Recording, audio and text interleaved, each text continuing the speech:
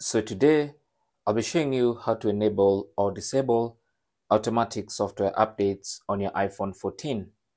Now for this tutorial I'm using the iPhone 14 Pro, but you can do this on the regular iPhone 14, iPhone 14 Plus, and also the bigger iPhone 14 Pro Max.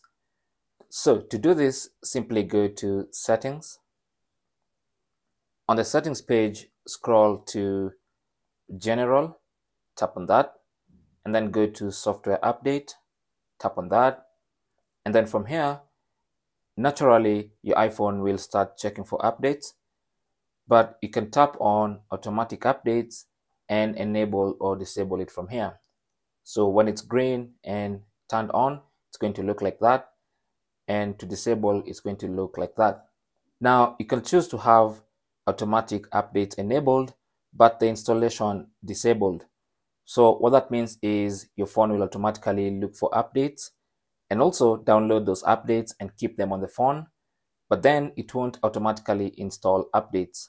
So that means to install the updates, you'll have to come to this page and tap on install to install the update. Thanks for watching. You can leave your comments and questions down below and good luck.